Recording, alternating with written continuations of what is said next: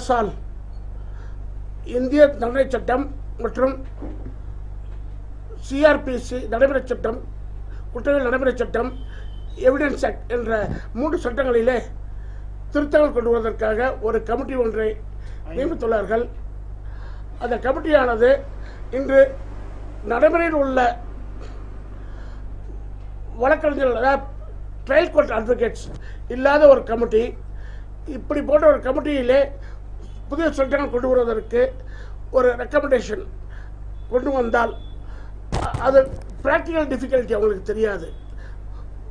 இதில் வந்து அந்த கமிட்டியில் வந்து உள்ளவர்கள் ப்ராக்டிஃபைடு தெரியாதவர்கள் தான் இன்றைக்கி வந்து நல்ல கமிட்டியில் இருக்காங்க. ஆனால் இப்படி ஒரு ப்ராக்டிஃபைடு இல்லாமல் ஒரு புதுச்சட்டம் கொண்டு திருத்தங்கள் சட்ட திருத்தங்கள் கொண்டு வந்தால் உதாரணத்திற்காக பர்ன் ஆஃப் ப்ரூஃப் என்கின்ற குற்றத்தை யார் நிர்வகிக்க வேண்டும் என்பதை மாற்றி இன்று குற்றவாளி தான் குற்றத்தை நான் செய்யவில்லை என்று நிரூபிக்க வேண்டும் என்கிற ஒரு சூழ்நிலை கொண்டு வந்துள்ளார்கள். கொண்டு வர முயற்சிக்கிறார்கள். இப்படியெல்லாம் அது மட்டுமல்ல கன்ஃபெஷன் கன்ஃபெஷன் என்பது ஒரு குற்றவாளி ஒரு குற்றவாளி வந்து போலீஸ் ஆஃபீஸர்ஸ் கொடுக்குறது கன்ஃபெஷன் வந்து ஏற்றுக்க மாட்டாங்க சட்டப்படி. இப்போ போலீஸ் ஆஃபீஸர்ஸ் கொடுக்குற கன்ஃபெஷன் ஏற்றுக்கலாம் அப்படிங்கிறாங்க. இது இதை வந்து தவறை எப்படி பயன்படுத்த முடியும்?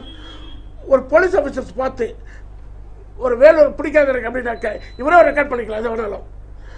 எங்கிட்ட ஒத்துக்கிட்டார் கேஸ் அப்படின்ட்டு. இதை கோர்ட் நம்பணும் இப்படி பார்த்தா யாருமே போலீஸ் ஆஃபீஸர்ஸ் எதிர்ப்பாக எந்த ஒரு இது தப்பவே முடியாத ஒரு சூழ்நிலை ஆகிடும் அதுதான் இது போல பல மாற்றம் பல மாற்றங்கள் வருது. மாற்றம் வருது ரெக்கமெண்டேஷன் கொண்டு வந்துட்டு இருக்காங்க. இந்த ரெக்கமெண்டேஷன் வந்து நாங்கள் ஏற்றுக்க முடியாது. இந்த கமிட்டி வந்து தற்காலிகமாக நிறுத்தி வைக்கணும். இந்த கொரோனா பீரியடில் இப்போ நாடே முடங்கி காலத்தில் அவசர சட்டம் கொண்டு வர அவசியம் என்ன இருக்குது இது போன்ற அவச அவசரப்பட்டு இந்த சட்டங்கள் கொண்டு வர வேண்டாம். இது போன்ற கமிட்டியை வந்து தற்காலிகம் நிறுத்தி வைக்கணும். இதில் வழக்கு மன்றத்துக்கு போகின்ற அஹ், கீழமை நீதிமன்ற வழக்கு வழக்கு மன்றத்தில் போகின்ற வழக்கறிஞர்கள் இடம்பெற வேண்டும் இந்த கமிட்டியில்.